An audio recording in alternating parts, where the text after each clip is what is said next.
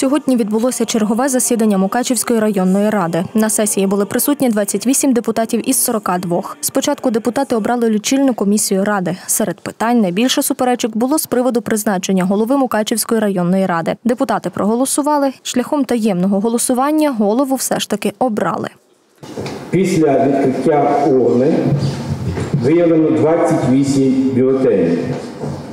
При підрахунку бюлетенів, виявлених у виборчій скринці, встановлено недійсний бюлетень 0, не підтримую 3, за кандидатуру Лабаш Михайла Михайловича голосував 25 депутатів.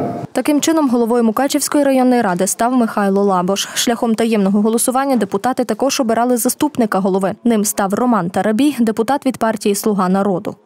Дякую кожному з вас е, за велику довіру. Я аналогічно, як Михайло Михайлович, обіцяю працювати е, і прислухатися до кожного з нас. Окремо подяка е, за довіру Михайлу Михайловичу, тому що дійсно, як працюючи у різних структурах, я розумію, наскільки важлива тісна співпраця і конструктивна співпраця. Під час засідання також розглянули ряд майнових та комунальних питань. Про передачу майна Нижньоворівській сільській раді.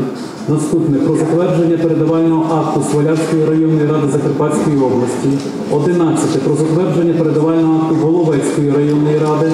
12. Про передачу майна комунальної організації установи закладу районний центр дитячої та юнацької творчості Мукачівського району Закарпатської області. Та 13. Про затвердження ліквідаційного балансу юридичної особи комунальної організації установи закладу районний центр дитячої та юнацької творчості Мукачівської району Закарпатської області пропоную е, проголосувати пакетним голосуванням. Про наступне засідання районної ради стане відомо вже незабаром.